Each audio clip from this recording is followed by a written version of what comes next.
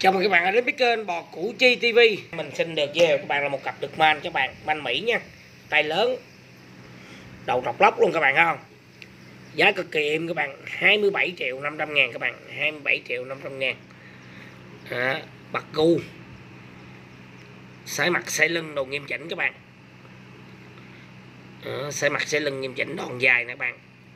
Con này cao mấy lẻ ba bò các bạn Cao mấy lẻ ba bò đo ngay giờ giữa lưng các bạn đít toàn quay bật gu đòn dài chân móng thì hoàn thiện. À, chân móng được hoàn thiện. À, giá cặp à, đực man này thì chủ báo giá là 27 triệu 500 ngàn các bạn 27 triệu 500 ngàn. Con này thì cao mấy lẻ ba bò các bạn cao mấy lẻ ba bò. Chân móng sái tích đồ nghiêm chỉnh hết các bạn. Đây con này manh bu đầu trụi gu bật luôn sái tích nghiêm chỉnh luôn các bạn cũng cao mấy lẻ ba bò luôn các bạn. Đo ngay giữa lưng nha. Yếm nè dậu này nghiêm chỉnh hết. Tay lớn. Dòng này dòng anh mỹ anh bơm các bạn. Hai cái tay hai cái quạt các bạn không?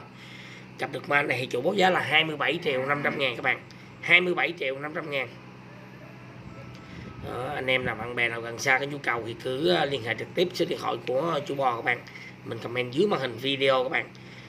Yếm dậu rồi nè mặt gu nè sái tích đồ nghiêm chỉnh đầu trọc lóc chân móng đi hoàn thiện hết các bạn.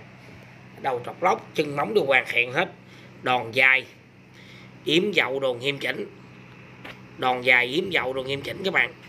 Xe mặt xe lưng rồi cũng nghiêm chỉnh luôn. Đó, chân móng thì hoàn thiện. Đó chân móng thì hoàn thiện nè bạn. Đó, chân móng thì hoàn thiện. Cặp được man này thì chủ báo giá là 27 triệu 500 ngàn các bạn. 27 triệu 500 ngàn chân móng hoàn thiện hết. Cao mấy lẻ ba bò đo ngay giữa lưng nha các bạn. Cặp này đồng khích luôn các bạn.